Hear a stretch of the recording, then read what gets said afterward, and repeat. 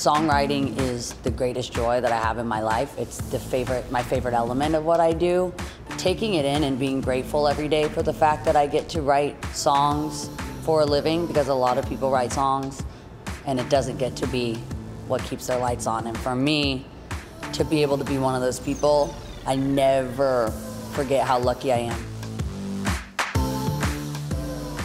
With anything, you know, distance makes the heart go fonder. So having that distance from my fans for the longest I've ever had since I was 12 years old, having almost two years separated from me and my audience, the, the pandemic kind of reignited and, and just lit that, that spark again for me for the gratitude that I have for being able to be a live musician first. I think I've had, in a way, this amazing gift that my audience grew up with me it's very different than the relationship that I have with the public or the press or the media or their perception of me, but it's really stayed grounded in the really unique relationship that I have with my fans and with my audience because a lot of us were the same age. The people that watched my show were my same age.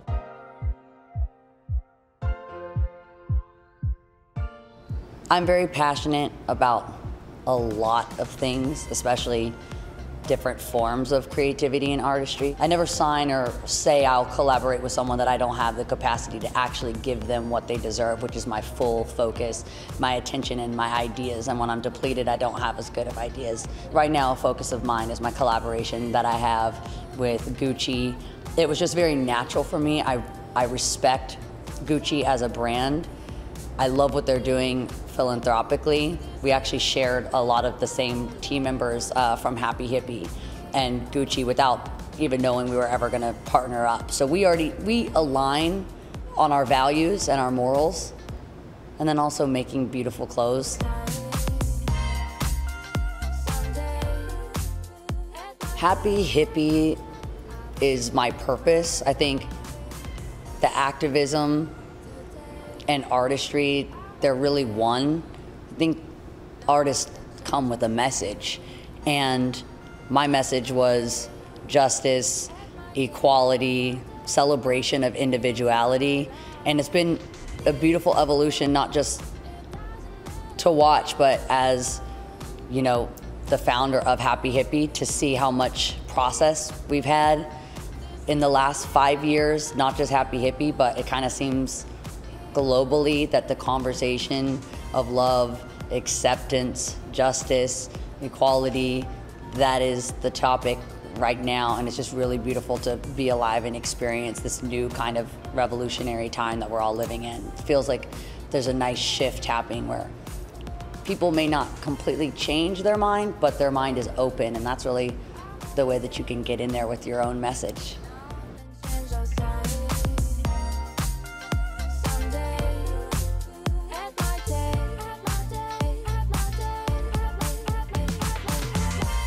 I feel like my entire life I've struggled a bit with being the loudest person in the room, standing up for yourself. So I think this whole experience, getting to be an executive producer, it's helped me a lot with that.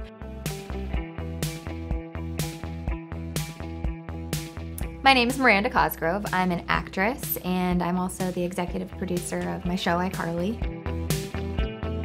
When it came about that we were maybe gonna do a revival of iCarly, the show I did when I was little, and they said that I could be an executive producer on it, I was super excited about it because when I did the original iCarly, I didn't have any creative control. So I just thought this is gonna be a whole different experience and it was something that really excited me. At first I was a little scared because I was like, oh my gosh, this is gonna be so much work. I'm gonna be doing so many things that I've never done before and am I gonna do a good job? I think parts of it I, I knew how it worked from doing it when I was young, but a lot of it I just had to kind of learn on the fly and it's just been such a rewarding experience. With this new version of iCarly, there's a little girl on the show named Jaidyn, and I totally see myself in her. Like when she's on set, she takes all the notes and is trying her best to just do what everybody is looking for, all these adults are looking for. But because I know how that feels, I, I feel like I try really hard to make sure her voice is heard. Even though she's a kid, she still is an artist and she's still a comedian and she's a huge part of what the character ends up looking like in the show.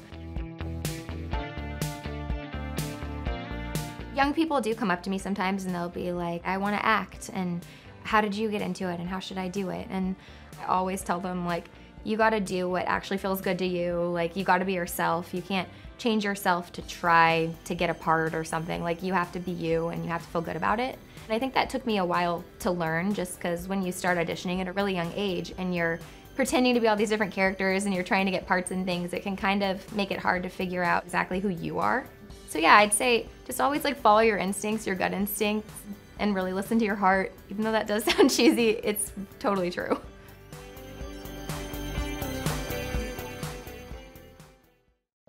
If you think about what it would normally take to start a business, you've got to rent some real estate on Main Street, and then you've got to invest in buying a whole bunch of inventory and stocking the shelves. On Etsy, you can create a listing for 20 cents. If it sells, make that product, and then invest more and more in making more products. And that way you get to learn what types of products your customers are interested in, how to price it, and the cost of entry is, is so low. My name is Josh Silverman. I'm the CEO of Etsy, and we're here in Brooklyn at the Etsy headquarters. I started as an entrepreneur and was a, a co-founder and CEO of Evite back in the late 1990s. But for the past 20 years, I've had the privilege to work for companies that had a very successful first act, where I've come to help and unlock a really successful second act. So for example, I was the CEO of Skype at a time when Skype was about free phone calls.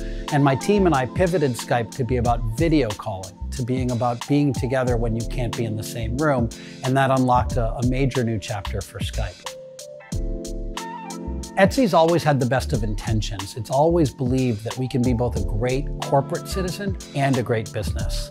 I think where we've made a lot of progress in the past five years is connecting those intentions with outcomes. So as a culture, we have really embraced accountability. We're very data driven and we really believe in focus. We pick a few things at a time. We obsess over delighting our customers. And then we're willing to take bold bets to make sure that the customer experience on Etsy is really world class. And I'm incredibly proud of how the team has risen to that challenge and really delivered a world class experience to both our buyers and our sellers. I'm incredibly proud of how this marketplace now serves well over 5 million sellers who report that two thirds of them actually had more sales in 2020 than they did in 2019. So when you think about how much economic hardship the pandemic has wrought, Etsy has really been a haven. It's really been a source of economic power for literally millions of people around the world who might be displaced through automation, who might be displaced through the pandemic and are turning to Etsy and finding that we can provide an economic opportunity for them. In fact, there's almost $3 billion per quarter being bought and sold on Etsy right now. We all woke up and in a single day, we saw that sales on Etsy were exploding. It was in early April 2020. And when we looked closely, we discovered that it was all the sale of masks, fabric face masks. The, the Centers for Disease Control had changed its recommendation to now recommend that people do wear masks. And all of a sudden, we saw an explosion of demand for masks. And we decided that this would be a moment when Etsy could really step into the void. And so we told the team to drop everything and make the mask buying experience on Etsy great. And within a week, we stood up a mini company, if you will, designed just to get people to make and sell masks and to buy masks. And we were able to mobilize tens of thousands of sellers within just a matter of a week or two to come and start listing and selling masks on Etsy. And that provided buyers with an opportunity to buy masks that were not PPE, so they weren't taking masks that frontline workers needed or hospital workers needed, to get those masks shipped to them quickly and cheaply, but also to buy masks that have a sense of style, that represent their personality. And that got, we think, a lot of people more comfortable buying masks and wearing masks. So we're really proud of the role that the Etsy marketplace could play at a time when people needed us. I believe that the mission of Etsy is so important, and I believe that we play a unique and powerful role in the lives of over 5 million sellers and almost 100 million buyers. I think that if Etsy weren't here, it would leave a massive gap in the lives of millions of people. And that's incredibly special, and I think there's a ton of responsibility that comes with that. But I think everyone, everyone who works for Etsy feels both the power of that purpose and, and also the responsibility of the mission. When you read 110 to 115,000 comic books, a lot of it sticks and then some of it, you know, someone will ask me a question and I was like, boy, I know I read that and I have very little recollection of it, which tells me that it was kind of a middle of the road comic. I'm Bob Bretall, and I collect comic books and related ephemera. I have somewhere north of 120,000 at this point. That's not the number in the record book, but I'm working on transferring my stuff to a new database and I'll be updating my Guinness number, um, hopefully by the end of the year. From the moment that I started reading them when I was eight years old, it just, I got sucked into that world and it was just, you know, kind of a connect the dots of all these different things where I went from one thing to another, but I just kept reading them and I read them to this day. There are collectors out there and, you know, they have a very limited definition of comics or they really haven't bothered looking around at what's available because there are a tremendous number of good comics have been published throughout the whole time I've been reading them. I try to make stuff kind of logically fit together. I kind of made an art gallery out of this stuff. These are all original art pages. A lot of art today is done digitally but back in the day, they would do it black and white on these 11 by 14 art boards. And the lettering would be right on it. And then they would reproduce that um, and reduce it. And then they would do coloring guides um, off of that. So I've collected art over the years. I have two older brothers, and they're quite a bit older than me, like eight and 10 years older than me. So there were always comics around when I was little. I remember reading some Uncle Scrooge comics or Richie Rich, or there'd be a Batman or some other kind of superhero comics. When I was eight, my brother, my older brother Russ, gave me a coupon that he made, you know, just that was good for 10 comic books because I had kind of liked to read his comics and I think he wanted me to stay away from his comics. So he's like, if you go to the store and buy a comic book and come back and show it to me, I'll mark one of the slots on the coupon off and give you the 15 cents back. They cost 15 cents then. When I was a little kid, entertainment options were very limited for me as an eight year old. I would cut the characters out of my comic books to make little paper dolls, and I would have adventures, and Spider Man would fight Daredevil, and I would do all kinds of fun things with them. And of course, I destroyed a lot of my. My earliest comics by cutting the characters out of my comic books. Um, this is a Spider-Man that I cut out of some early issue of Spider-Man that I had when I was probably eight or nine years old. I had collected over the years all the issues of Spider-Man, but I didn't have his first appearance, which was an Amazing Fantasy 15, and which was always a fairly expensive comic. Around the time I got the record, I decided I was going to buy Amazing Fantasy 15. Over the last 51 years, I've bought every comic book that I have pretty much, well, not individually, because I get like 30 or 40 comic new comics a week. So I'm still buying lots of comics. But I buy all these comics myself. I buy them kind of one at a time and I read them all. If you've never read a comic and you think that comics are only superheroes, they're not. And you know, if you're interested at all in the medium, and not everybody is, but just that the combination of art and story, I just love it. And some people that's going to click with, and other people it won't. But it's really worth trying out a comic book, and it doesn't have to be a superhero comic book. You can go to a comic book store and get all different kinds of things. And there's, you know, so many different kinds of comics, and just see if it's entertaining. The sacrifices you make when you're creating a brand any creator can relate. It's lonely, it can be frightening, you can be scared. I'm so proud of myself for believing in something that I worked so hard to create. It's incredible.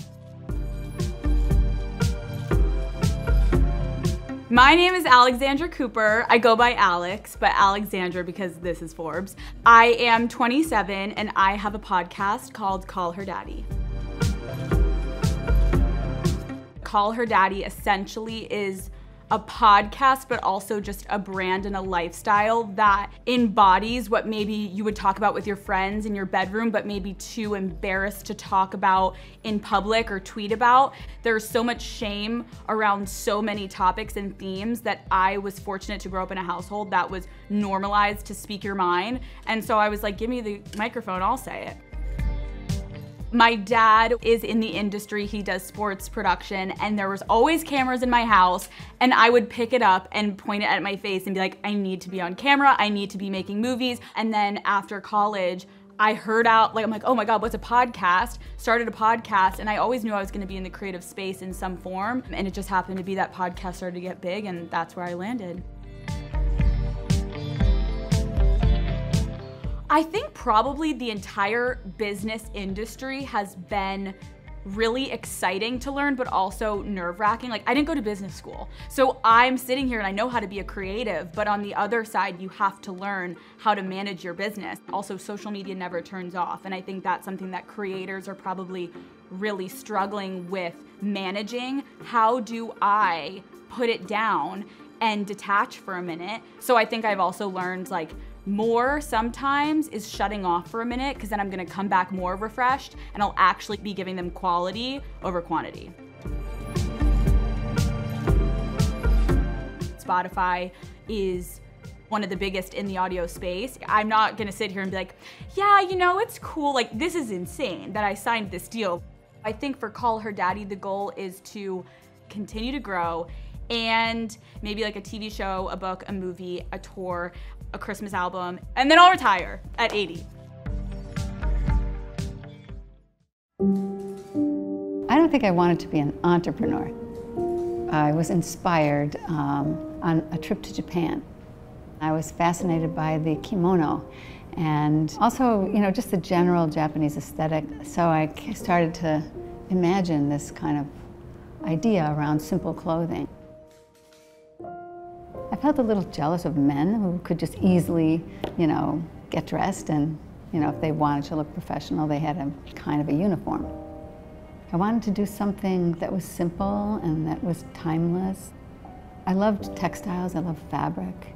And so I started seeing these pictures and uh, I imagined these simple clothes and how they worked and pictures just kept coming to me. And, you know, I just started talking up the idea to friends and uh, I found myself at the boutique show and I was, I remember floating through and going like, oh, I could do this. When I decided to start the business, I remember thinking, you're crazy, you don't have any money, you can't afford to do this. And I remember looking at my bank account and going like, $350, that's it, that's all you have. What are you doing, you know? But that's what it cost me to to sign up for the first boutique show, I just did, took one little uh, wall in the back of the boutique show and I shared a booth with two other people. And that's sort of how I launched. I think that, that being over 50, the way I find myself describing it is I feel like I'm like on a spiral and I keep kind of repeating the same mistakes but I'm just coming a little higher. I'm like, so I, I, see them. I have a little more perspective. I see them from a little higher place, so I can, I can um, fix them quicker, or you know, uh, I can be a little more aware of what's happening, or what might work or what might not work. I can catch certain things because I have a little different perspective. I think that's personal too. In my own life, I see myself, oh, God, hmm, that's the same thing I did before. Okay, okay, this time, this time I caught it a little quicker. This time I spoke up sooner. This time, you know, I, I actually made a change. I never thought about giving up.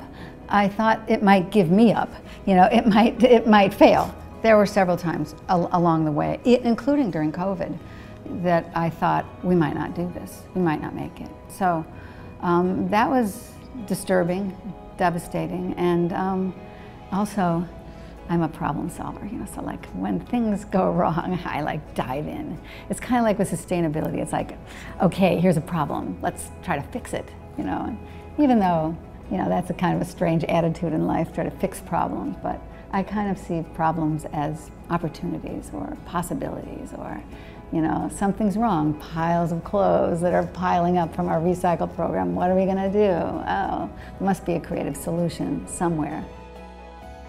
You know, life is long, and and like I said, you know, it's just you know, it kind of keep going. You have so many. We have so many opportunities when it comes to work.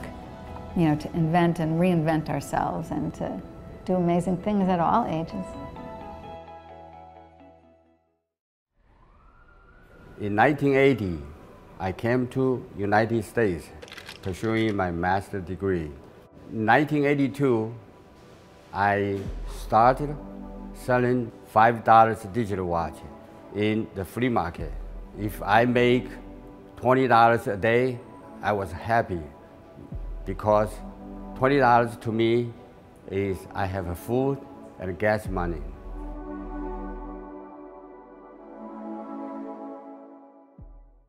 I met my wife in Flushing. We both working very hard, day and night, and selling gold jewelry in the flea market. We opened our first jewelry and watch store on Long Island. But I have a vision. My vision is Flushing. Flushing is largest Chinese community in the East Coast. Chinese are very loyal name brand and they are spending buying luxury goods. So 10 years ago, I had an opportunity to open a large scale jewelry store on, on the downtown Flushing. Today, I'm very proud of my three children. They are running the day-to-day -day business growing up, I saw how hard like my parents worked, and I saw how much like their business meant to them and how much they put into it. That it made me want to like help them out. I graduated from Carnegie Mellon University, and the business was really starting to pick up to where it is today. So I joined at that time to help out, and I never really left after that. It's been really a blessing in disguise to work with my family just because you develop these really raw and honest relationships that you mostly won't develop if you weren't working with your family. I remember one day I was driving to work and I get a call from my dad. He's like, hey, you know, Derek, um, would you consider like coming back home to New York? Because I was in Florida at the time. And uh, I was like, okay, like what's going on? And he was like, oh, you know, your mom, Lisa, she just got cancer. I remember like pulling over and I, I was like crying in my car and then I just emailed my boss right away like, hey, I got a family emergency, I gotta head home. I stayed home with my mom to help take care of her and unfortunately in December of 2015 she passed away from a rare cancer. I got to see like through her life like how much energy and work she put into the business with my dad. And if I don't come into the business, it would have been for nothing. Like I, I can't let that happen because, you know, my mom's not asking me, but I should do it because it's the right thing now. So definitely there's a generational gap. I mean, we always butt heads like almost every day. I feel like you have your moments where you fight and you're just, but like when you fight, it's different from fighting with your coworkers or something. It's just more like it's your family. But then maybe 10, 10 minutes later, you're like, you forgive each other and you're like, okay, I'm calm. I, I understand what you're saying. You know, we always joke with my dad. He's like, you know, when I was your age, I used to do everything in the store. And we're always like, yeah, but dad, now we're like doing everything you did. Plus, we have the speed of the internet of people reaching out to us, contacting us. Everything is like much faster. Yeah, I think he's definitely more open to new ideas now. Um, I think the goal for us is to just do it and if it succeeds, then he's open to it. And if it doesn't succeed, then we try something else. New video tonight showing the moment a man shoved a 52-year-old woman to the ground outside a bakery in Queens, causing her to hit her head so hard she needed at least a half dozen stitches. We are Chinese, but we are also American. And we work here, we work hard, we pay taxes, we are American.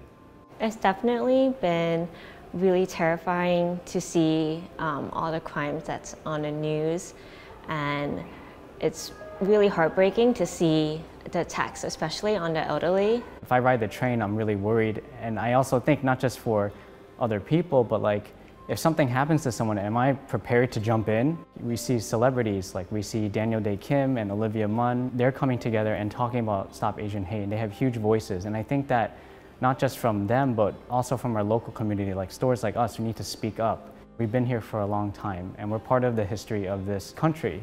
And that what we bring is pretty much our culture and our food and you know all the good things that everyone loves to experience. And we just want to get back to that time.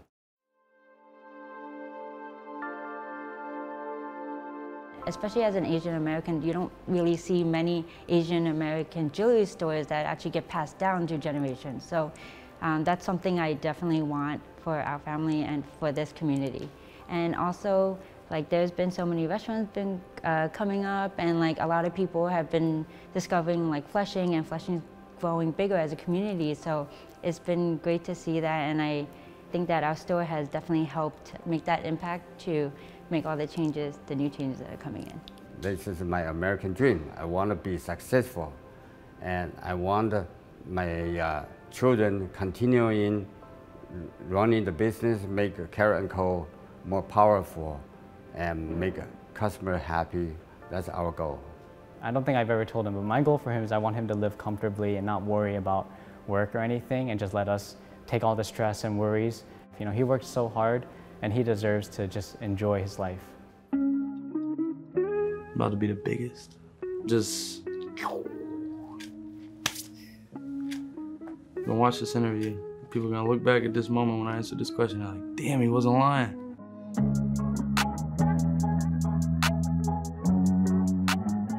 My name is Jack Harlow. I'm a recording artist. I'm 23. My parents didn't let me and my brother play on electronics when we were kids. So I say that to say I spent all of my formative years reading. And in class, I liked English, writing, personal narratives, all that. But you, I became 10, 11, 12, and I started to hear the music that everyone was listening to. And, you know, they're just not saying hip hop's the dominant genre, but it's honestly been that way a while for the youth. So it's just something about the, the rhythmic side of it that was just so attractive to me. Just, and I think that combined with being a writer, storytelling, just class, and I was just like, this is what I want to do. Think probably the down moments probably impacted me the most. And when I say down moments, I mean having to do shows with 12 people in the room. It's basically all the moments of selling yourself, begging people to rock with you. Especially in my genre, it's so much about bravado and saying, I'm the man. And sometimes early on, I was making that music saying, I'm the man. And then I go to the show and you find out you're not yet. And I think it really improved my performance, my confidence to struggle through getting embarrassed, basically. If there was a new artist, you know, I would just encourage them to really try and tell the truth in their music it goes a long way to just be vulnerable and speak from the heart. I think that's what keeps you here. If you look at all the artists that have been here for a decade or longer and haven't just gone to the wayside, they're all truth tellers and they all speak from here. And it doesn't mean don't make the party music. Gotta make some of that too. But at some point, people have to sit down and feel like, I know who that is.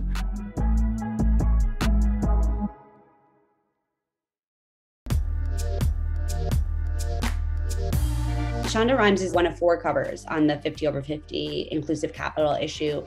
And it's four female covers, which is super exciting for Forbes. She is the only woman from Hollywood to, to get a cover. And I think that's important and iconic, especially because she's a Black woman in Hollywood. And Hollywood not only has, over the last few years, been reckoning with a Me Too problem in terms of gender discrimination or sexual harassment and assault, and kind of how difficult it is for women to really succeed sometimes. Shonda Rhimes might be a surprising fit for the 50 over 50 list because a lot of her biggest hits came out before she turned 50 Grey's Anatomy, Scandal, How to Get Away with Murder. But uh, the reason she's on the list is really because at 51, she's entered a new phase in her career with the Netflix deal she made a few years ago and with Bridgerton being this international mega hit for Netflix. When Shonda was at ABC, she was basically the queen of the network to the outside world, right? She was commanding Thursday night. She was getting the most viewers. She there were a ton of headlines saying how she was saving broadcast TV. But behind the scenes, there was always a negotiation. By the end, she was getting paid a lot, you know, $250,000 an episode for Grey's Anatomy. At the same time, you know, she always had to kind of fight to prove her value to, to ABC and to Disney. And that's even after she brought in $2 billion uh, to the Disney empire. Around 2017, she started to realize I'm one of the best storytellers in television right now. I'm one of the most valuable showrunners. Why am I fighting to to get paid what I deserve or to get the creative freedom I deserve? And she started to meet with Netflix with Ted Sarandos. At that point, she realized where she could get paid a ton of money up front, but more than just the money, she could get creative freedom, flexibility. She can make the kinds of shows she wanted to make. And she's really embraced that as ever since. Um, and we saw that with Bridgerton, which was the first show of her Netflix deal to come out. And it became, within a few weeks, uh, Netflix's number one show ever. In the first 28 days, 82 million households, or 40% of Netflix's paying audience, watched the eight episode series uh, Bridgerton. That smashed previous viewing records. A second season was booked within weeks. In April, uh, Netflix renewed for seasons three and four, and there's also a spin-off in the works uh, based around her character Queen Charlotte. So Shonda, who is already making $30 million a year to create exclusive content for the streamer, is expected to receive millions in bonus pay because of the series' success. Shonda Rhimes was the first person to sign an overall deal with a streaming service. Um, and that was a really big deal back in 2017 when it happened. At Netflix, she earned the most money in 2021 than, than she's earned in her whole career. She'll earn close to $70 million this year, we estimate. Close to 40 million of that is coming from Netflix. And then she still obviously is making Grey's Anatomy and Station 19. And she also gets eight figures in her share of Grey's Anatomy scandal and how to get away with murder profits. Since her television career began in 2005, she's earned more than $350 million pre tax, making her one of the biggest showrunners uh, in terms of earnings in Hollywood history.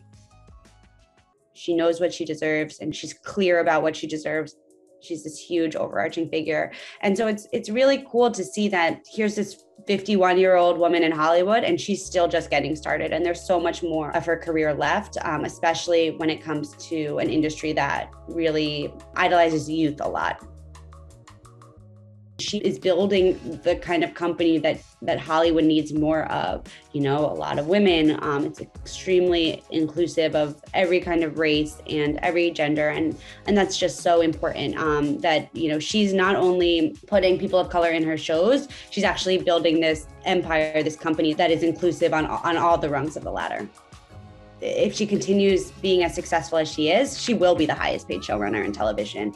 And I think it's just a real lesson on betting on yourself and betting on your abilities to succeed.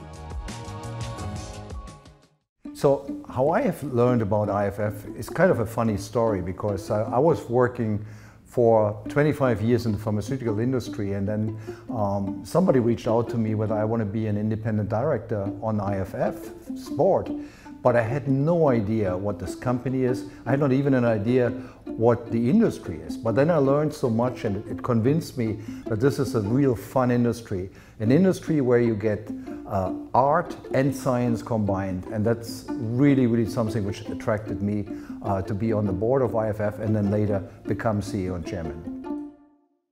IFF may not be a company you've heard of, but you've almost certainly used one of their clients' products. We went to the headquarters in New York City to see just exactly how these products are made. And it was pretty mind blowing. Yeah, oh yeah. Uh, look, we just do 20% of our business in the US and the rest is international. So we have basically most of our employees somewhere. Asia, probably 20, 25%, Europe, probably 30, 30%, 35%, and then Latin America and, and, and North America. Look, if you ask me how you get exposed to some of the IFF technologies or products, and you go into a supermarket or in a duty-free shop, I would guess in, in one of five or one of six products, there's certainly an IFF technology. It could be a plant-based burger, which is entirely made of IFF uh, ingredients and te technologies. It could be a fragrance you wear, which is a complete IFF uh, creation where we have invented the molecules, where we have done the creation with our perfumers, and we have manufactured it. So all of that could be exposed to you as a consumer. Andreas Fibig was running Bayer's $12 billion pharmaceutical business for a really long time. He's taken that kind of pharma CEO energy to IFF, engineered a bunch of really big mergers, including a $26 billion merger with DuPont's nutrition business, which is why now IFF has one of the clearest and strongest platforms to be developing plant based protein. We think just broader than uh, flavors and fragrances. We think about total solutions. We think about innovative and very creative spaces to go, like the whole uh, plant-based meat space, where we believe it, it's good for sustainability, it's, it's good for health. We wanted to be a player there. And they have a couple of other areas, in particular in the biotech field, which were very, very attractive for IFF.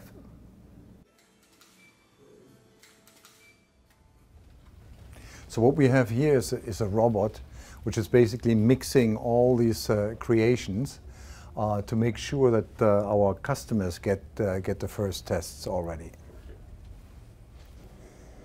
Yeah, this is a robot which is doing it all on, it, on its own, so you don't need any people. You just put the formula in and it's mixing it automatically. The most fun for me is, is basically talking to our researchers, talking to our creators about new products. What can we do? What can we invent? And what can we bring to our customers and to the consumers? That's a, that's a big fun part. And I can tell you, we have a lot of very, very creative and very knowledgeable employees. And I think we have a very good atmosphere in the company as well. There are a lot of formulas and, and, and a lot of uh, things which we test out with consumers and with our customers, customers as well here everything is, is data and facts.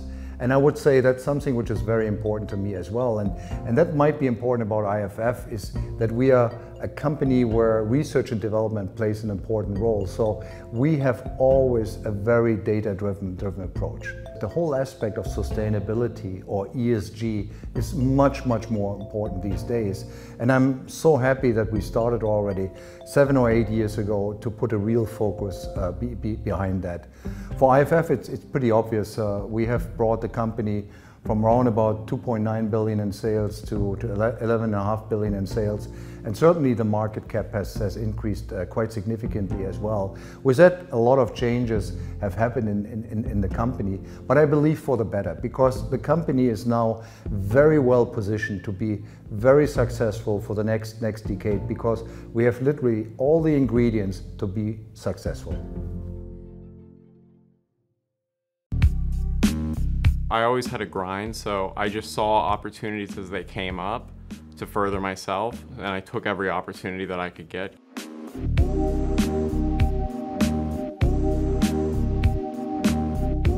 My name's Cole Mason. I'm the CEO of Pearpop. I'm 25 years old. I've always had an entrepreneurial spirit since I was little, from selling handmade crosses door to door to being a failed YouTuber, trying to grow myself through that. Didn't work out. I got like 10 views a video. But then post that, I then got signed by Ford Models, so I moved out. And going to castings, the first thing that they would ask for is followers next to your name. So through that, I had to go through the social media grind again and go through everything to figure out how to grow myself. After that, I started promoting in nightlife. So with promoting, I was able to meet so many influencers and I realized that there was a huge discrepancy in pay for creators. It was so crazy to me to think like some of these guys were pulling in more views than a TV show, but they weren't getting paid for it. So what I wanted to do was create Pearpop just through basically my experiences and what I had gone through on growing myself. Pearpop, the, the mission of it is we're moving from platform-driven awareness to people-driven influence we were able to get now 85,000 creators, where now the creators aren't gonna have to go and post for free anymore. Right now, they have to go on, log in and say, pick a sound, pick a creative to use, so why go do that and let the platform make the money when you can go with us and then get paid for your views on across all social platforms? Persistence is everything. When you're first starting, it feels, I guess, like the whole world is against you, right? You go up against every problem you could imagine. But persistence is key. If the drive is there, you'll see the opportunities in everything. And you just take those opportunities as they come, and eventually things pan out.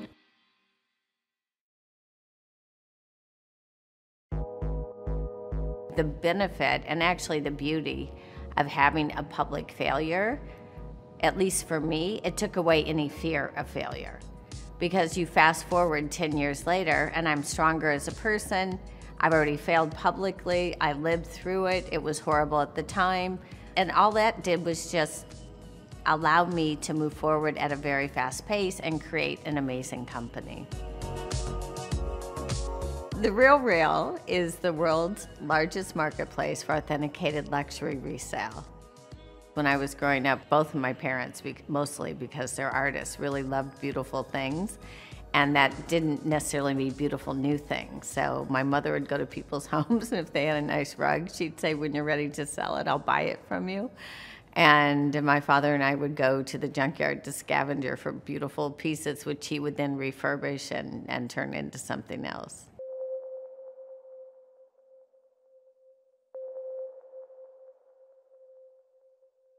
At the moment in time when I shut the company down to return money to shareholders, I was thinking about my employees and making sure they had a pay package and future jobs. And also, my husband had asked me for a divorce that day. So there was a lot going on. And I would say six months later, it really hit me that this was really bad for my career. It didn't help that every major newspaper and every tech article was written not about the company and not about the Times, but also about me personally. And um, pretty pretty horrible things. I was called the dumbest person in Silicon Valley, and so it was it was a hard time. After Pets, even though it had a lot of um, negative press, I didn't really realize how much of it would sort of stick to me um, and how my options may be limited after that until I met with a recruiter and he said basically after he said, well, pets.com was such a blow up, your career's over. And you know, I wouldn't show you to any company, I wouldn't introduce you to any companies. But hearing that made me go, okay, well, what am I going to do about it? You know, and uh, clearly I'm not going to be able to get my dream job from someone else, and I'm going to have to create my own. That's exactly how it, that hit me not like, oh, wrong or he's a jerk. It was like, okay, I'm taking this as valid. How, what does that mean for me? It means that I should start my own company because I'm, other people don't believe in me right now. In the Valley, it's small world, but I believe in myself, so that's my best option. With The Real Real, our biggest accomplishment is bringing awareness to the amount of fashion in landfill and the incredible benefits of buying and consigning previously owned goods. We're doing it on everything we do on our website. We're doing it on our own company. We're now carbon neutral. And even more importantly, we're working with our congressman and multiple people in the government to help change laws, to actually increase the awareness of the importance of recirculating used goods and conscious consumption. And if we make any dent on that, given the environmental situation the world's in, I'm going to feel like um, I'm going to feel pretty good about what I've done and what the company's done. I would say that you need to think of your career as a long term investment. I would encourage you to take risks, never stop taking risks. And even when you think you're there, you're not there yet. That learning happens at every age, and you're gonna have, you will have setbacks. You know, figure it out. Don't give up.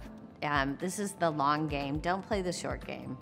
And more importantly, you have to love what you do. And you also have to be conscious of the choices you're making. So if you become an entrepreneur, and I'd love to see more female entrepreneurs, recognize that that will consume your life. So be conscious about it. Is that really the track I want to go, or do I want to balance my home life with job for a while and then I can do it later? The other thing is, you know, really, the real real I started at 53, so clearly it's never too late. But I had a lot of great experience to build on. So you know, life life can be long, and also take care of your body and your mind. And you know, you have to eat right, you have to exercise, you have to give yourself a spiritual spiritual nourishment. So take care of yourself along the way. The first time I seen a basketball, I think it was out the womb. I have baby pictures holding a basketball. It's something that's been a part of my life for my whole life.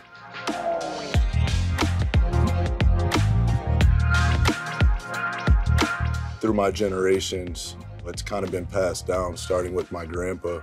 You know, he played semi-pro, and then my father had a career, a short time in the NBA, but mostly overseas.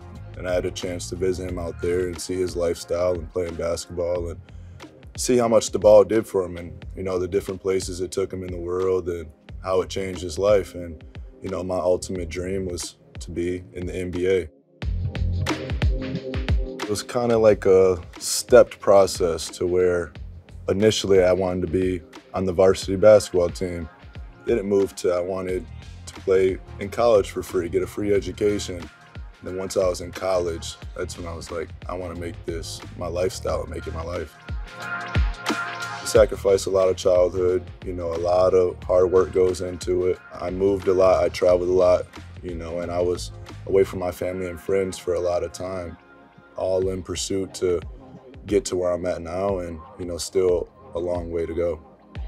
I just want to continue to grow in all aspects of life and set myself up for after basketball. I'm actually a part owner in a beverage right now called Coco 5. I'm three years into my charity and my foundation. It's called the Devin Booker Starting Five. And Book Projects is my creative brand studio. Some advice that Kobe left me with is be legendary. You know, that, that's what it's about, legacy and inspiring. I think that's the biggest thing you can do is inspire the next generations. And, you know, that's not always making a money commitment. You know, it's the way you carry yourself also. So, you know, just understanding that, you know, it's bigger than you and, you know, there's a lot of people watching you when you're on this stage and you're in this position.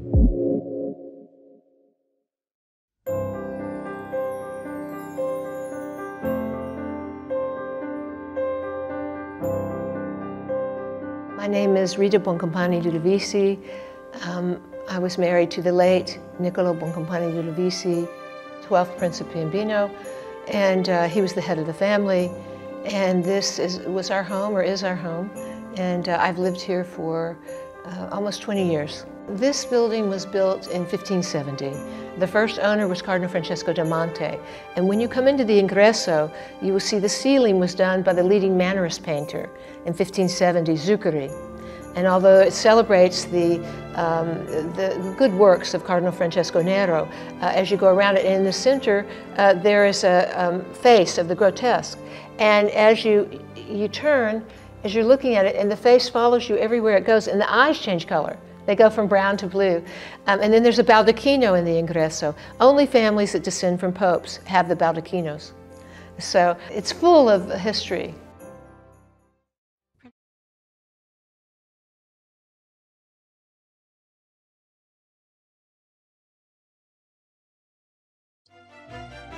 It's about 30,000 square feet, but it's two acres of land in the middle of Rome.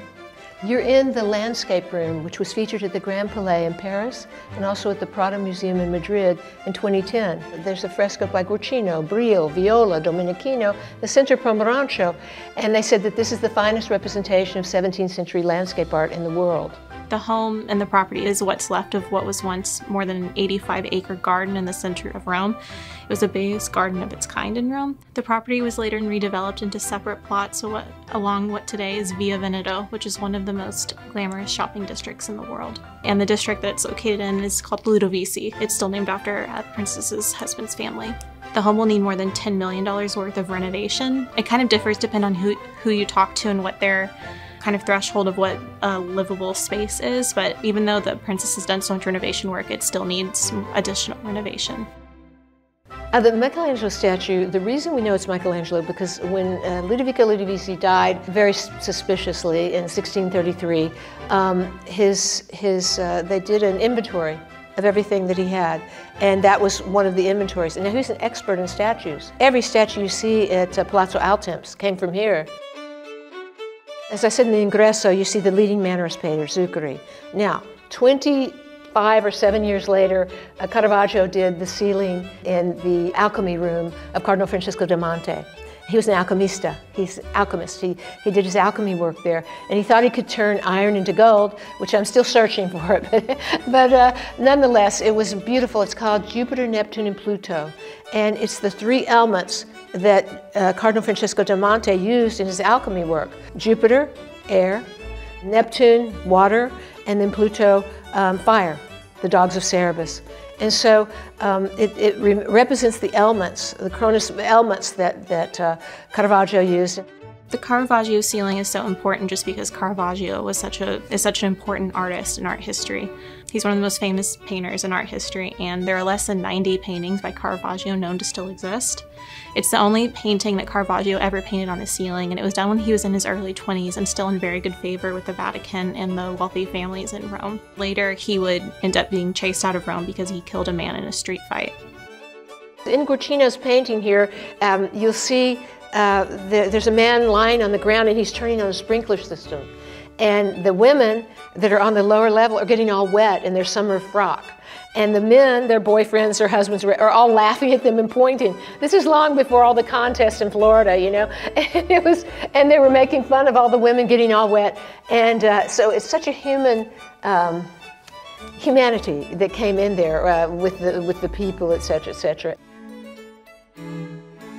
One thing that I think has been repeatedly stressed to me by people I've talked to for this story is how much of a turnaround uh, the princess moving into the home was and renovating it was. I mean, the house was just completely written off as ruins, and um, before that she moved in, it hadn't been open to the public in years. So, thanks to her restoring the house and um, digitizing the archives, hopefully, even if it sells to someone private, um, we still know more about Villa Aurora thanks to her more than we ever would have known. When I was 16, I had just graduated from high school and my parents sent my sister and I, who just graduated from college, to Rome with a kind of a teacher uh, to go all over, not just to Rome, but all over Europe. And I felt such an affinity. I can't begin to tell you. I felt like this is something I feel deeply. You can't explain it.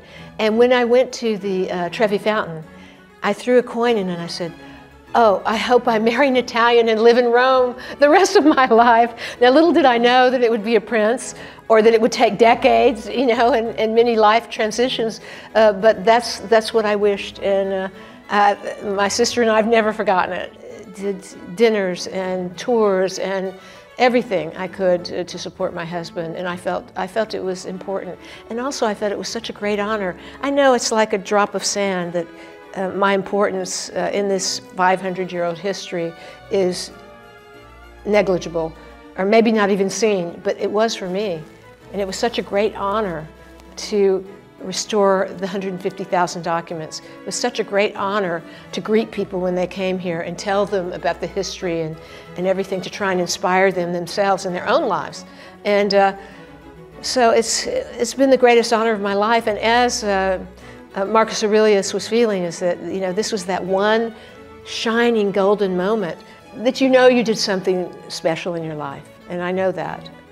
I think just being with my husband, to be with someone who loved you so much and uh, whom taught me how to love in return, it's a gift that uh, I will never forget. You know, I'd never had that before. I, I never understood what it really meant to be loved and to love in return in such a profound way. You know, it's not easy. It's not easy. My husband gave his life for this house. He did, literally. We never took a vacation. Everybody, all of our friends where are you going in August? And we said, no, we're staying here. And they said, but don't you want to go there? I said, no. I said, I'm so happy just being with him. Um, I think that uh, Niccolo gave me the ability to, to really be happy, and I think I'm going to be. I think I'm going to be. My future is going to be good.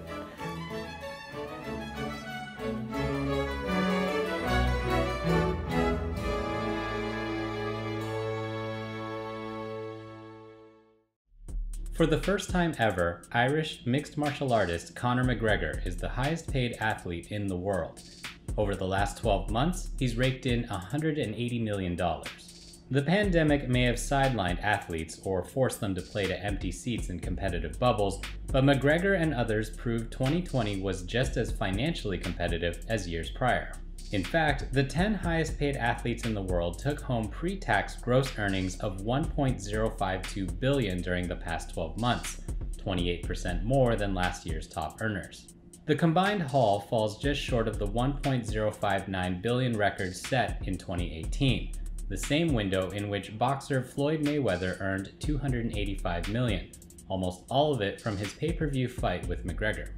Of the $180 million McGregor earned in the last 12 months, most of it comes from the recent sale of his majority stake in whiskey brand Proper Number 12 to Proximo Spirits for $150 million. With endorsements, McGregor made 158 million outside of his fighting career. This makes him the third athlete, after Roger Federer and Tiger Woods, to earn more than $70 million off the field in a single year while still actively competing.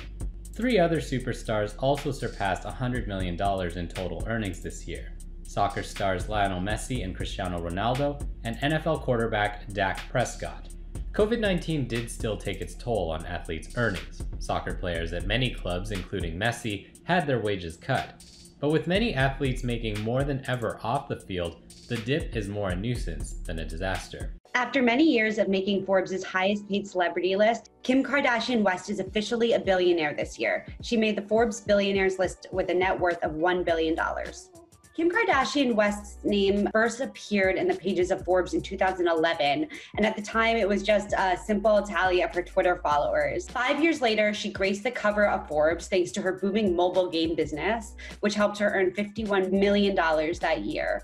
The first time she appeared on a Forbes self made women list was in 2018 with a net worth of 350 million. Five years after gracing the cover, she's officially joining the world's billionaires list. The biggest assets in her empire are her two lucrative businesses, KKW Beauty and Skims. Kardashian West founded KKW Beauty in 2017 following the success of her half sister Kylie Jenner's Kylie Cosmetics. She borrowed from Kylie's playbook using a similar direct to consumer model that relied heavily on social media marketing. Her first launch, which was 300,000 contour kits, sold out within two hours. By 2018, just a year later, her business had expanded into eyeshadows, concealers, lipsticks, and fragrances and was bringing in about $100 million in revenue. She cashed in on her ownership of KKW Beauty last year when she sold 20% of the business to beauty conglomerate Coty for $200 million in a deal that valued the company at $1 billion. Forbes estimates that figure is a little bloated and that her remaining 72% stake is worth about $500 million. There's also Skims, the shapewear line Kardashian West launched in 2019. She raised money from fashion industry insiders like Net-a-Porter's Natalie Massenet and Theory's Andrew Rosen and capitalized off of her massive social media following to shill the brand. The fast growing company has been quick on its feet. During the pandemic, consumers became more interested in comfy clothes for the couch than smoothing their stomachs under evening gowns, and she swiftly started turning the company's focus to loungewear. It's her stake in Skims that pushed her over the threshold to become a billionaire and what may cause her net worth to continue to grow in the coming years. The rest of Kardashian West's fortune sits in cash and investments, including real estate. Every year since 2012, Kardashian West has earned at least $10 million pre tax by Forbes' count, and some years it's much more. Those paychecks come from keeping up with the Kardashians, endorsement deals, and endeavors like her mobile game or the now defunct Kimoji app. She's also got three properties in Calabasas and a portfolio of blue chip investments, including shares of Disney, Amazon, Netflix, and Adidas that her soon to be ex husband Kanye West gifted her for Christmas in 2017. As she tweeted herself the day she made the cover of Forbes, it's not bad for a girl with no talent.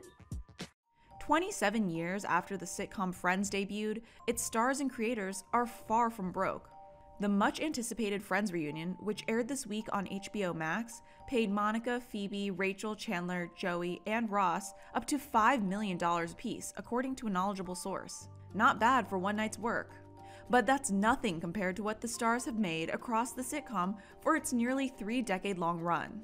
The wildly popular TV comedy generated nearly $1.4 billion in earnings since its broadcast debut in 1994.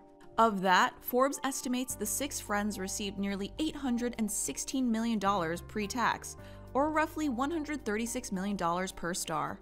The creative team of David Crane, Marta Kauffman, and Kevin Bright shared pre cash earnings of nearly $550 million. While it aired on NBC from 1994 to 2004, Friends drew in an average of 25 million nightly viewers on its own, but the money didn't pour in right away. For the first four years, Warner Bros. Television, who licensed the show to NBC, lost money on the sitcom. By the fifth season, NBC was intent on keeping Friends in its Thursday night lineup, agreeing to cover the costs of production, which over its 10 year broadcast run included an estimated $70 million in producer fees for Bright Kauffman, and Crane, and almost $100 million for the stars, who went from making $22,500 per episode in the first season to a million dollars a show in the final two years. At that time, Aniston, Cox, and Kudrow were the highest paid actresses in Hollywood. The real payoff started when the show entered syndication to local stations, cable networks, and ultimately streaming services. Forbes estimates these deals amounted to around $4.8 billion for the production company. Creators and cast still share the rerun spoils. Forbes estimates syndication proceeds of $260 million for the cast and 475 million for Bright Kauffman Crane. So they're having the last laugh.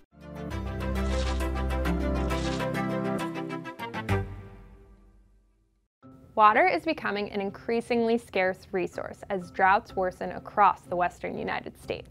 A scorching drought made worse by climate change is draining reservoirs at an alarming pace. Hotter temperatures and dry vegetation, the firefight is worsening. In California's Central Valley, water prices have risen as high as $2,000 an acre foot. An acre foot is a unit of measurement that, in this case, is the amount of water it takes to cover one acre of land with one foot of water. So, one acre foot is the equivalent of about 326,000 gallons of water. As a price comparison, in non-drought times, water can sell for $250 per acre foot. On the highest end, other farmers have sold their future water rights for as high as $5,000 per acre foot. Two of the biggest players in the California water scene are Stuart and Linda Resnick. They're the billionaire owners of the Wonderful Company, known for their pistachios, mandarin oranges, and POM Wonderful pomegranate juice. The Resnicks are also majority owners in the Kern Water Bank, one of California's largest underground water storage facilities. The Resnicks right now are worth $8 billion. Um, that's quite conservative, to be honest. It's from their farmland assets. They have a lot of different real estate, a lot of other personal assets. But this water bank is honestly pretty invaluable, and it could be one of their most valuable assets if it ever really was up for sale. A water bank is an area mostly underground where water can be stored reliably until it is needed. From above, water banks tend to look just like big puddles, but underneath, they can hold hundreds of thousands of gallons of water the where the Kern Water Bank is is where the Kern River would peter out. So it is naturally an excellent uh, groundwater recharge area because over the millennia, you just you know it was it was built up with sand and gravel and you know all that good stuff rather than clay, which is hard to you know percolate water through. So it's it is naturally the best place to recharge water. I mean, it's almost incalculable to understand how valuable it is. First of all, hundreds of acres and second of all, it is in the crosshairs of the Kern River, the Cross Valley Canal, and the California Aqueduct. So it has lots of ways to fill up. Kern Groundwater Bank continues to be, I think, the absolute jewel of banking and recharge in California, bar none. To value a water bank, we have to multiply the going rate for an acre foot of water times the full capacity of the water bank, which for Kern Water Bank is about 1.5 million acre feet. But prices right now during a drought are much higher. At $1,000 an acre foot, the Resnick stake would be worth about $850 million. And at $2,000 per acre foot, their stake would be worth about $1.7 billion. I've been asking around about um, prices, and people are getting really kind of cagey about what what they're a paying for you know water and, and b what they're trying to sell it for because now it's getting really desperate. It's a lot of money. It's considered a public resource you know who's making that money? The public gets annoyed and frustrated and outraged when they start seeing you know that kind of money going for what they consider to be a public resource. We have a lot of very impoverished communities uh, farm worker communities, mostly Hispanic, mostly Spanish speaking, many that have a great deal of fear of dealing with, you know, regulators of any kind because they're not necessarily here uh, with all their documentation. And so they live in these communities where it's not just contaminated water, but they can't even get water. You know, their wells are breaking or their wells were drilled to 100 feet. And now, because of groundwater extraction, you know, the water table is down to 400 feet. So you have those situations that are going on. Right now, the drought is exacerbating it. This world of California water is absolutely insane on pretty much every level. Who owns it? Who moves it? How much you can get for it, what your rights are, what your constrictions are. I mean, it's all different. It's just a huge patchwork of crazy.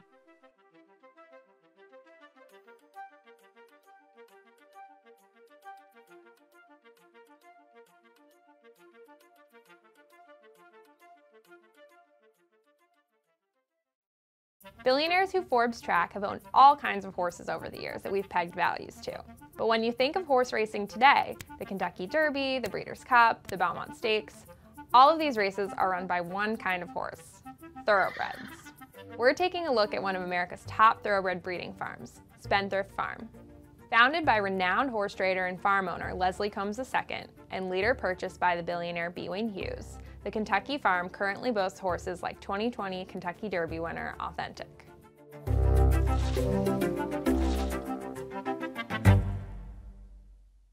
There are many different terms for thoroughbred horses, like foals, fillies, mares, weanlings, and colts. But the term you want to pay the most attention to is a stallion, which is a male horse that's often a retired racehorse.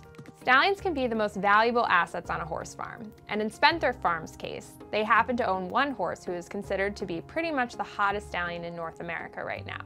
His name is Into Mischief. In August of this year, B. Wayne Hughes died at the age of 87, but there are indications that Hughes transferred ownership of the farm to his daughter, Tammy Gustafson, and her husband, Eric. Tammy is a billionaire member of our Forbes 400 rankings, just like her dad was. Spendthrift declined to comment on the ownership transfer.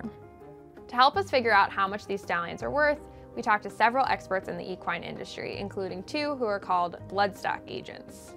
I describe myself as a stockbroker and a real estate agent for horses. That's Chad Schumer. He's the founder of Schumer Bloodstock Agency out of Louisville, Kentucky. Our primary focus is buying and selling thoroughbred racehorses and breeding stock. Along with that, uh, we do insurance on thoroughbreds and we do appraisals for banks. Uh, pretty much, if it has to do with dollars, cents, and thoroughbreds, we do that. And that's Peter Bradley, the owner of Bradley Thoroughbreds based in Lexington, Kentucky. Stud fees can change over time depending on how a stallion's progeny do once their own racing careers start. In 2012, when Into Mischief was seven years old, his stud fee was a reported $7,500.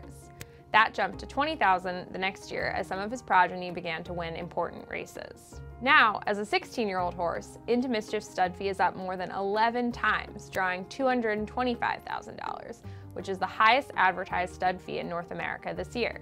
To value a stallion, the general rule of thumb is to take its stud fee and multiply it by 300 or 400 times. That equation assumes the horse will book, that is, mate with, 100 mares per year over three to four years. But some stallions, like Into Mischief, book many more than that in a year, driving up revenue for the farm and increasing their own value in turn. So, to refine our methodology, bloodstock agent Chad Schumer suggested that we factor in the exact ages of each stallion on the roster and the number of mares they covered last year in 2020. I advised to not take 100% of the number because obviously all the mares aren't going to be pregnant. Some are going to die, some are going to be barren, some will not have live foals. So I think a reasonable estimate is 80 to 85% of the number of mares bred and the cover fee. And that's the income for one year. Now, a young horse, 8, 9, 10, 11 years old, he could be worth four or five years worth of income. As a horse gets older, I would I would change that number to two or three but you're buying an asset and you're like any business, you're looking for a rate of return. And I think the stallions, you know, typically you you want to make sure a good investment in a stallion would have you out in four or five years. Based on this method and using the 2021 stud fee, we determined that Into Mischief alone is worth about $135 million. And we estimated the other 2021 stallions combined are worth about $165 million. Spendthrift recently announced its 2022 stud fees and bumped Into Mischief's fee up once again to $250,000. If we include the estimated values of the other horses living on Spendthrift Farm, like the mares and yearlings, which we calculate separately, we estimate that all of Spendthrift's horses are worth about $360 million. It all sounds like it's just printing gold bars, but it's not. Peter Bradley said that roughly 10 to 30% of all stallions that go to stud actually make it. There's a very polarized market here for the stallions, you know. It's either chicken or feathers. The other part we have to value is the farm itself. First, we pulled parcel records from Fayette County, where Spendthrift Farm is located, and looked at the fair cash value of the parcels, noting the values of the land and the buildings on it. The farm is located in Kentucky's Fayette County, so we turned to the county assessor's office in order to pull some public land records and get a sense for the value that way. The assessor prepares their own valuations of every parcel in the county and they take into account the land itself as well as any buildings that are on it. And I didn't realize this, but apparently the horses actually graze the actual grass that's on the land there. So, although it's not a farm in the typical sense of it, the fact that it's producing crops, the soil agricultural quality is quite important because the horses are actually eating that grass. We looked at just one parcel. It was about 330 acres. That parcel itself was worth $5.9 million. So that included the land plus improvements and buildings on the land. Looking at all 15 parcels and adding up those values brought us to about $25 million. Fayette County updates its assessment every four years. Most recently on this farm in 2018, so these numbers may be a bit low. Normally to value land like this, we would look for comparable transactions, but horse farm sales in the area are rare. Spendthrift Farm also has another operation in Australia, which allows them to breed more horses during the Southern Hemisphere's own distinct breeding season. We estimate that the land and the horses who live there are valued at about $15 million. In total, we estimate that it's worth $400 million. Not half bad for the family farm. In a 24 minute court statement this week, Britney Spears made it clear she's done playing nice with the conservatorship that has been dominating her life since 2008. The arrangement effectively gave control of her life to her father, Jamie Spears. In her statement, Britney described a litany of suffering from being forced to take lithium against her will to not being allowed to remove her IUD. She asked the court to have control of her life back and put an end to the conservatorship, which has allowed Jamie Spears to live off of her $60 million fortune. So, how much did Jamie Spears actually pocket from Britney's earnings? Well, since February 2008, Jamie Spears has been paid at least $5 million before taxes. And since at least February 2009, a year after Jamie was named conservator in charge of her estate, he was paid $16,000 a month, according to court documents reviewed by Forbes. Over 12 years, that compensation totals $2.4 million. On top of that, Britney has had to pay hundreds of thousands, if not millions of dollars, in legal fees for both herself and her conservators. She's also paid for her father's office space, an additional $2,000 a month in rent. A report in the New York Times also pointed to Jamie collecting portions of Britney's touring revenue, which could explain Britney's accusations that she was forced to work despite not wanting to or feeling sick. This includes 1.5% of the gross ticket and merchandise sales from Britney's Piece of Me Las Vegas residency between 2013 and 2017. That show brought in $137.7 million, leaving Jamie with a cut of $2.1 million. Britney did not mention the way her father invested her money or the larger picture of her finances in court. But she did speak to how her personal finances were restricted, including the fact that she can't carry her own credit card. Quote, it makes no sense whatsoever for the state of California to sit back and literally watch me with their own two eyes, make a living for so many people and pay so many people, trucks and buses on tour, on the road with me, and be told I'm not good enough, she told the court. It's been a long time since I've owned my money, and it's my wish and my dream for all of this to end. 5500 to start 55 5.5 million dollars to start it. Good start. It's 1994, and we're watching an auction in a sales room at Christie's in Manhattan. 19,500,000. Next bid is 20. 20 million. On sale is a one-of-a-kind Leonardo da Vinci manuscript known as the Codex Hammer. 25 million. At 25 million in this room. Now, the audience in the room doesn't know this, but a representative for Microsoft co-founder Bill Gates is bidding on the phone. At $28 million, it's away from the room now and on the telephone at $28 million. Gates is up against a group from a bank in Milan that's sitting in the front of the room. On the telephone in this room at $28 million. Last call. And in the end, Thank you. the manuscript goes to Gates.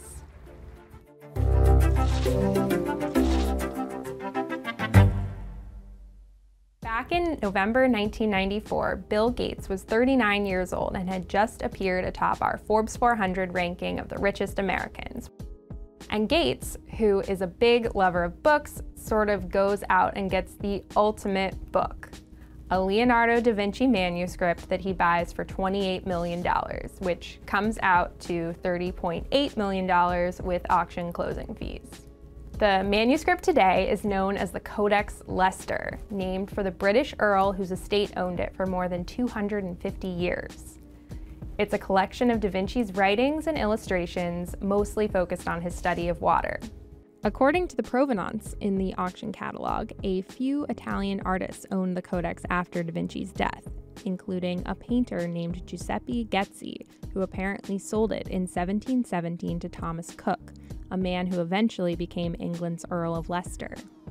It stayed with the Earl of Leicester's estate until 1980 when it finally went up for auction. Oil tycoon Armand Hammer bought it that year, and 14 years later, Gates spotted at another auction. It's the only one of Da Vinci's notebooks that's still in private hands today. There are about 360 illustrations inside these pages, and the text is done in Da Vinci's signature, what's called mirror writing, that is, he wrote backwards. One other thing to note is that the original version that Gates owns is not bound like my copy here. While at one time it was bound by another owner centuries later, that binding has since been removed, and today each page is held in plexiglass. So, how much is the codex worth today? So, art is one of the toughest things that we have to value for our lists because the value is just so subjective. Uh, it's really worth what somebody will pay for it, and you never know when a billionaire is going to just be very moved by a piece and pay uh, an amount of money that you couldn't even imagine something might have been worth uh, to get that piece. So you just really never know what something is going to go for until it hits the auction block. Books have value for their rarity, for their importance to history or literature if it's, if it's a work of fiction, um, the first appearance of something. So once we've decided that the book is worth looking at for its condition, for its provenance, the first question we're asking, but we're going to ask it again, is what are we actually looking at? If it's a first edition of Moby Dick, um, that's a great thing to have. Then we look at the condition and we base the condition on what's in our hand and how you look at a book that's 150, 170 years old. Darren shared with us some of the important qualities that make books valuable, things like condition and rarity, but he told us that he wasn't a Da Vinci or Codex expert and was hesitant to put a value on it out of the gate. So next, we decided to try talking with some experts who were more familiar with old masters' works and Da Vinci. My name is Robert Simon. I'm an art dealer in New York. I work as well as an art appraiser. And my background is as an art historian. In 1993, Robert Simon was hired by the trustees of the Armand Hammer Museum to do an appraisal of the Codex Leicester, back when it was known as the Codex Hammer. You may have heard of Robert Simon before because he and a colleague bought the Salvator Mundi in 2005 for just over $1,000 in a Louisiana auction. My feeling was that the codex was quite a bit more valuable than any single drawing would be. So that was kind of the basic first principle. What by Leonardo can we compare it with? And then how do we rationalize the difference in the kind of object it is and its size? He also pulled together works of art that he found it to be similar to. Those included other drawings by Da Vinci, one by Michelangelo, and one painting by another Renaissance artist named Pontormo. Ultimately, Simon decided that the codex's value was $50 million in 1993. So it's difficult to get much better than someone who has already appraised the work of art that we're trying to value. But just to be safe, we also contacted some other Da Vinci and rare book experts and scholars who we thought might know the work well too. Everyone spoke with the caveat that we could never really know what the codex is worth until it actually goes up for auction. So, in the end, we decided to take the average of all the recommendations we got from our expert sources. Everyone agreed, like Robert Simon said, that were it to go up for auction today, it would not draw more than the Salvator Mundi, which sold for 450 million. A Da Vinci painting is much rarer than Da Vinci's words and sketches. He spent m- much more time as a writer, a scientist, uh, draftsman than he did as a, as a painter. And so you've got the, the painting itself is you know much more a rare object. But no one thought it was still worth the 30.8 million Gates paid for it. We decided to take the average of every expert's opinion, which worked out to about $130 million. This means the Codex is certainly one of the world's most valuable pieces of art. But it makes up about 0.1% of Bill Gates' $134 billion fortune. According to a CNBC report, the median net worth of someone who is 65 years old, which is Gates' age, is about $266,000. So, Gates buying Leonardo da Vinci's notebook is the equivalent of a typical 65 year old splurging on a new iPad. Billionaires just live in a different world. In the sneaker world, there's the easy to find, get 'em at the mall pairs. Then there's the exclusives. Certain models can be worth hundreds, if not thousands per pair, depending on the brand, year, and colorway. For example, these Jordan White Cement 4s from 2012 have a going price of just over $400. This has created a niche yet powerful global market that's akin to art collecting or trading commodities. This week, the game had a big shakeup when a prominent sneaker reseller, West Coast Joe of West Coast Streetwear, revealed his identity in a Bloomberg Businessweek story. West Coast Joe is really Joe Hebert, a 19 year old based in Portland, Oregon. And here's where things go sideways. His mother is Ann Hebert, Nike's general manager and vice president for North America. She had a career that spanned over 25 years at the sneaker giant, but because of her son, that came to a halt on March 1st when she voluntarily resigned. A Nike spokesperson said in a statement there was no violation of company policy, sharing of privileged information, or conflict of interest, but the family connection between the two definitely raised flags. For one, it was reported Joe Hebert used his mother's credit card to buy about 2,000 pairs of sneakers for around $200,000, which he hoped would turn a profit of 50,000. One particular scoop that is now highly suspect is how he managed to find pairs of 2011 Nike Air Mags through a man who allegedly stumbled across them in an abandoned storage unit. These were reproductions of the futuristic self lacing shoes Marty McFly wore in Back to the Future 2. Power laces, all right. Oh, and just so you know, the 2011 Air Mags are worth almost $15,000 a pair. Since the story took off, neither mother nor son has spoken publicly. In its statement about the incident, Nike also added there were no official commercial affiliations with West Coast Streetwear, including the direct buying and selling of Nike products.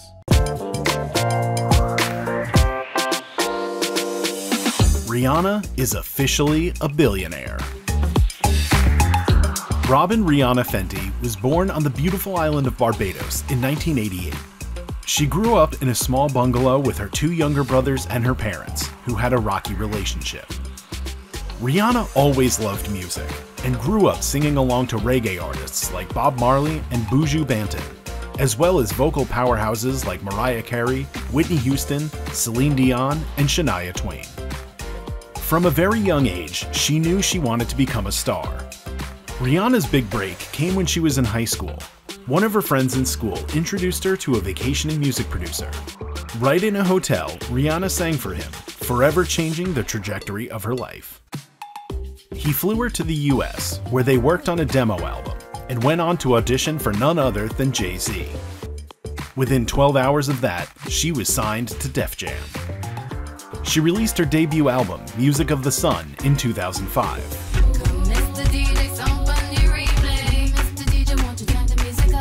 One year later, she dropped her platinum selling sophomore album. But her third album, Good Girl Gone Bad, shot Rihanna into major stardom, earning her her first Grammy. Dad, I know I promised you I'm gonna give you my first Grammy, but we might have to fight for this one. From there, she released hit after hit.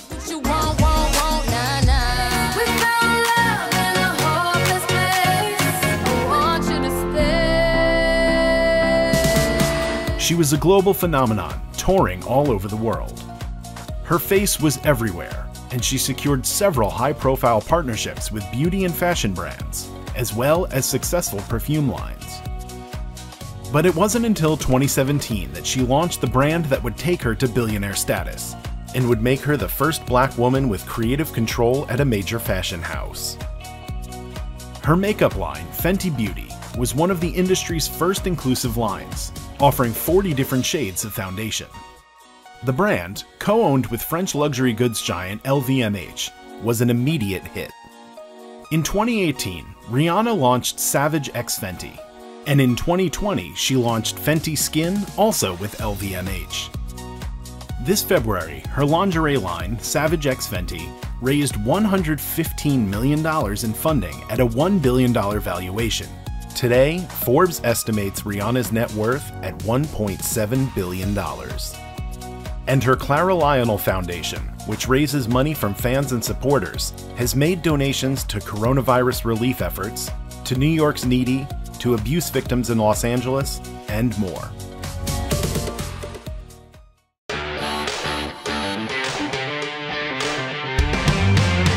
Guy Fieri is cable TV's highest paid chef, pulling in an estimated $26 million a year. Fieri was born, sans the frosted tips, in Columbus, Ohio in 1968, but was raised in Ferndale, a town in Humboldt County, California. His parents were veggie loving hippies, managers at a Western clothing store. When Guy was 10, he got his first entrepreneurial taste of the food business. He created the awesome pretzel cart that he would take to fairs and rodeos, where hungry crowds would devour his soft pretzels. As he got older, he continued to work in the food and beverage industry, paying his dues as a dishwasher for a Mexican restaurant. He saved up enough money to become an exchange student in Chantilly, France his junior year of high school. We're guessing he consumed a healthy amount of baguettes and brie there because he continued to follow his passion for food after graduation. He studied hospitality management at UN Las Vegas and managed a few restaurants before finally opening his first one in 2006, Johnny Garlic's in Santa Rosa, California. Hi, I'm Guy Fieri, and welcome to. Around the same time he opened that, he sent in an audition tape to be a contestant on the next Food Network star. Guy! And went on to win the whole thing, securing him his first show. Back then, Food Network's audience was mostly middle aged females, and the network hoped Guy Fieri's huge personality would draw in more male viewers. Flames and Grease brought in the dudes, and when Diners, Drive Ins, and Dives premiered in 2006, Guy joined the elite club of celebrity chefs. He wasn't a snobby chef screaming at people. He was a regular guy that ate burgers and dive bars, and America ate that up. Guy was a full on character and an instant magnet for memes. The internet went to work creating a Guy Fieri meme for almost anything, which only made him more famous. But the network could have never imagined the magnitude of the show's success. The laid back dude had a magical draw. His fame led to Guy Fieri cookbooks, the Guy Fieri Roadshow, and Guy Fieri Salsa. Since then, he's hosted more than 14 series on Food Network, and Triple D is still on the air more than 15 years later. This is where things go off the rails right here, folks. Diners, Drive Ins, and Dives generated more than $230 million in ad revenue in just the last year. And Guy recently signed a contract with Food Network, which will pay out $80 million over three years, a $50 million raise from his prior agreement. His name is attached to 80 kitchens worldwide, and he has a delivery only business, Flavortown Kitchen, as well as a new chain, The Chicken Guy. Not to mention Santo Tequila, which he owns with former Van Halen singer Sammy Hagar. And while he's not doing all of that, Fieri and his family make time to give back to the community, to restaurants, to the troops, and more. All in all, Guy is a pretty big deal. You may be familiar with the family drama on HBO's Succession. But what would patriarch Logan Roy be worth if the hit show were a reality? I'm gonna pull you limb from limb like a pinata and see what falls out. 84 year old Logan Roy is the founder and CEO of Waystar Royco, the fifth largest media company in the world. The Roy family patriarch was born in Dundee, Scotland in 1937, but soon left his rainy hometown for the Canadian province of Quebec, where he and his brother Ewan were raised by their aunt and uncle. Both were small time entrepreneurs. His uncle ran a print shop and owned some advertising billboards. His aunt owned a herd of cattle. Logan followed in their entrepreneurial footsteps, starting out with buying newspapers and founding what would become Waystar Royco in his early 20s. Over time, the business expanded into theme parks, cruises, and resorts. And today, Logan Roy is worth $18 billion. The vast majority of that, 16.4 billion, coming from his 36% stake in Waystar. In all, the Roys own at least 10 properties worth $345 million. Some of the more notable ones include Logan's New York City townhouse, the Hamptons Summer Palace, the Castle in England, the ranch in New Mexico, his son Kendall's five apartments, as well as that house in Malibu. Other assets include the family's luxury private jet collection, their 279 foot super yacht, and a 50% stake in the Hearts FC Scottish Soccer Club. In terms of cash assets, we conservatively estimate the Roys hold at least $1 billion. That it? In four years, Logan claims Waystar Royco will be the Procter & Gamble of the news. Why shouldn't we do all the news? But the company and family's future is extremely uncertain.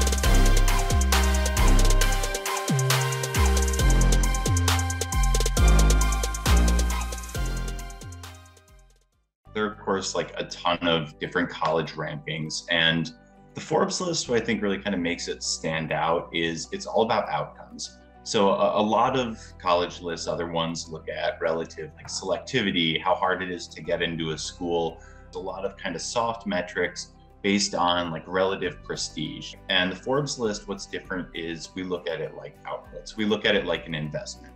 Because you know, for most people in their lives, it's one of the biggest things they'll ever spend money on. The list is kind of about finding what are the safest investments and kind of keep tweaking the methodology. Originally, we did look at some of those kind of like student experience measures, like how do students like their schools, you know, what are those kind of retention rates? And we have some of that that stayed around, but for the most part, we're looking at kind of hard outcome measures. So what's the kind of debt people are leaving with? What kind of salaries are alumni earning after the fact? What kinds of you know companies are they starting? Are they earning phds are they earning uh, any kind of like prestigious national award? We're looking at how quickly are people able to pay off those loans. I would say the biggest thing we did this year was that we really tried to account for how schools are treating their low income students. To do that we looked at a lot of data on pell grants which is kind of like a way that the federal government helps make families with lower middle income able to afford college. And we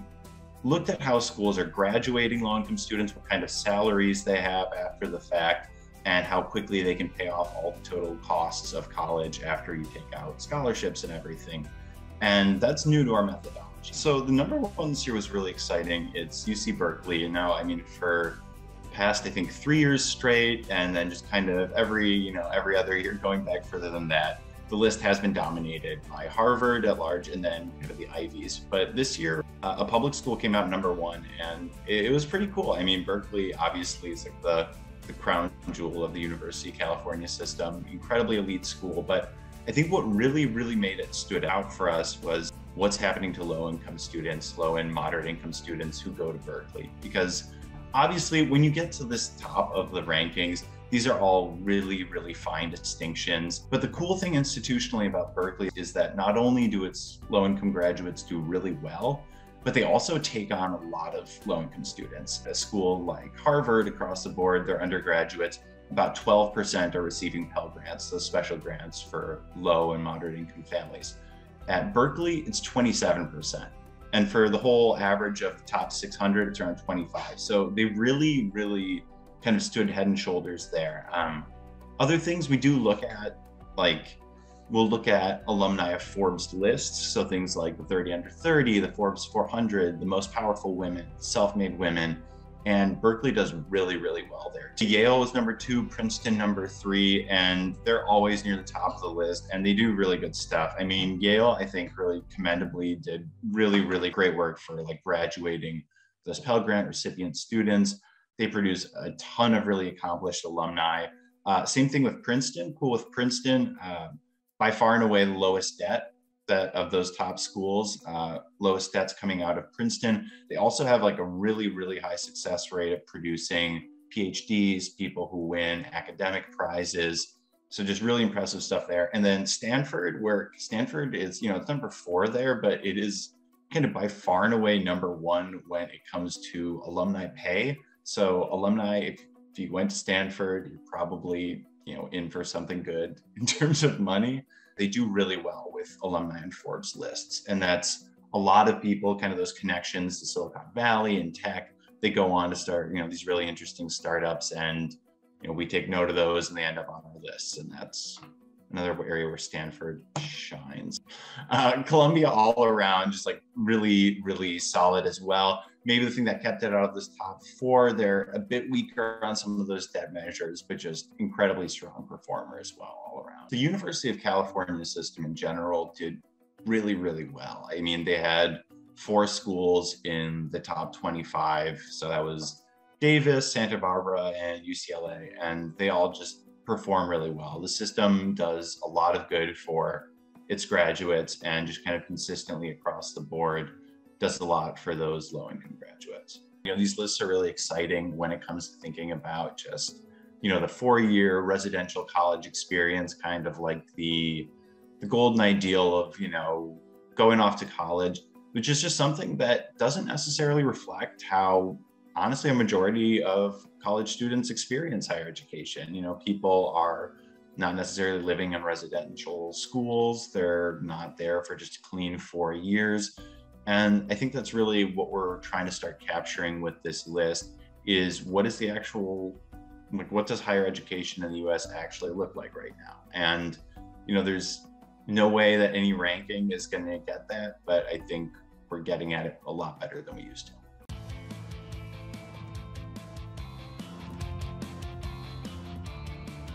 I set the world record in February 2019 at that time, I had 20,139 games.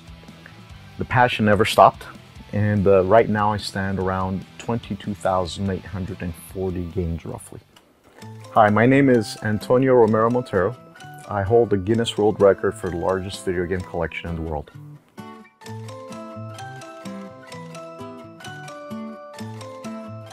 It all started when I was a young kid my passion for video games and the amount of time and hours I spent playing, I couldn't even start describing that. Uh, and you know, as I got older, the passion was always there, grew, and uh, just kept simmering. When I finally started working and uh, had started opportunity then to start buying more video games, it started with simply trying to buy some of the games that I played as a child. One of the things I love about games is actually some of the fantasy side, some of the fiction, um, some of the imagination that comes with it, the art style. You know, one way or another, it's become a part of way of how I think, how I act, and it's driven into parts of my being in essence. So I get to share also one of the rarest PlayStation 4 games in the world. There's only 84 known copies of this game and it was for sale for a very very limited amount of time. And uh, definitely comes with some backstory and some uh, interesting components to how this was issued and published. But for me one of the most hilarious part is the title and the theme of the game. Making it one of the rarest is a game called poop slinger and I guess you can all imagine what the theme of the game is.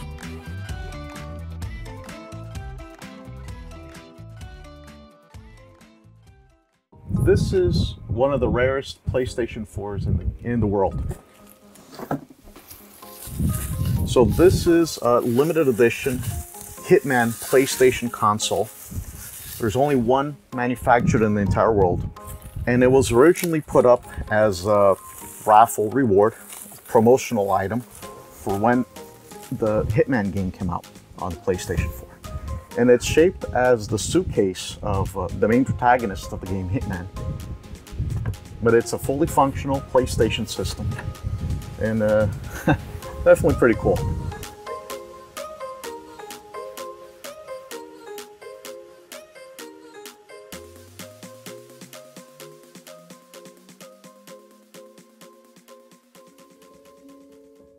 The continuation of my collection actually has nothing to do with the record. Um, I quite op- openly, anybody that wants to challenge it, and take the record, it's there for the taking. Okay. Really, the reason I keep on my collection is just for the continued passion and enjoyment. Um, I do play quite a few games still, and uh, the little spare time that I find to play them. Um, but it's just an enjoyment. It's the challenge that comes with the collecting side. It's um, seeing titles that uh, you've never seen before, finding some rare stuff. Um, and nowadays, I'm starting to play a little bit more with collecting items from Japan as well, which is pretty cool because you get to see how they looked in Japan versus how they look in the US and some of the art contrasts of some of the minor details, which are pretty entertaining. You know, it's been fun. That, that's the biggest part about it. It's fun. Okay, It's fun to go out and find uh, titles that you've played and say, ooh, and reminisce about those experiences. And then uh, slowly building up and achieving those collections. It's just a fulfilling component that I've enjoyed. Um, and I think, you know, in the end, every one of us carries a certain passion, a certain hobby, something that we do to enjoy ourselves. And this is what I've chosen to do. It's just uh, the experience with the games, the passion, the storytelling that comes with it, the art style, um, and all the memories that I relive every time I get to see these games, play them, and enjoy them with my family nowadays. I always stay grounded to the fact that I gotta worry about the next video. Am I gonna make this video better than my last? I try to just keep focus on that, and that kind of keeps the bigger picture almost small for me.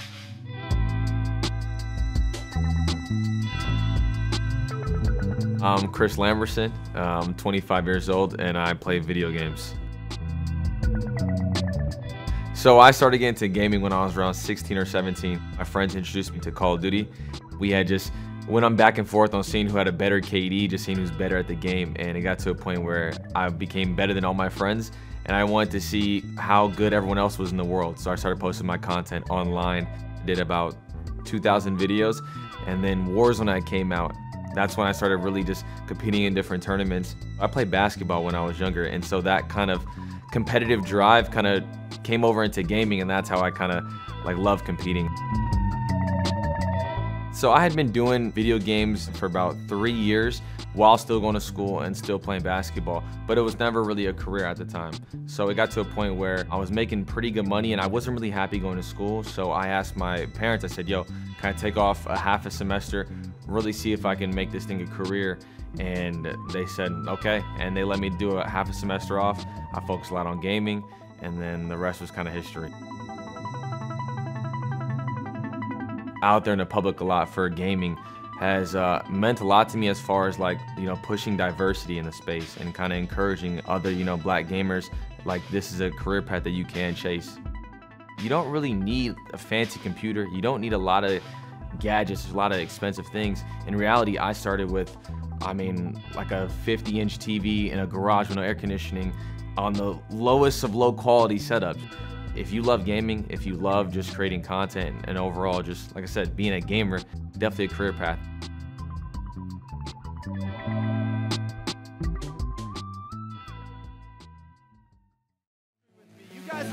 It all started with a Marshmello concert.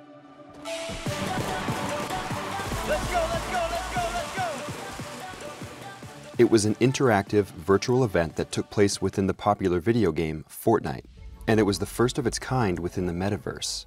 Metaverse, the word that's been popping up everywhere recently, is a virtual community. And within that community, people can play games, work, or in this case, attend a concert. Fortnite's concert was a huge success. Nearly 11 million people live streamed the event, and today that number is north of 60 million on YouTube. And that was just the beginning. A little over a year later, it was announced that rapper Travis Scott would venture into the virtual concert space, and just like Marshmello's, it was a massive success. Travis Scott's show proved how profitable these virtual concerts could be. And just like real life concerts, there's merchandise to be sold. Lots of it. In addition to the physical merch, players can also purchase skins and emotes, which are dance moves and other actions your character can perform within the game. And all that can add up. Scott reportedly grossed $20 million from his Fortnite collaboration, including merchandise sales. That's a huge number considering his entire Astro World tour from the year before grossed $53.5 million. Following Fortnite's success, other companies like Pokemon have followed suit, creating a virtual concert for its 25th anniversary with Post Malone in February. And in August, Ariana Grande hosted a virtual concert and is reportedly set to make the same amount as Travis Scott. And now, Justin Bieber is the latest pop star to announce a concert in the metaverse space, partnering with virtual entertainment company Wave. Wave's virtual concerts will be performed live, unlike Fortnite shows, and people will be able to send emotes that the performer can see in real time. It will be interesting to watch the evolution of these virtual concerts and the revenue they generate for the companies and the artists that partner with them.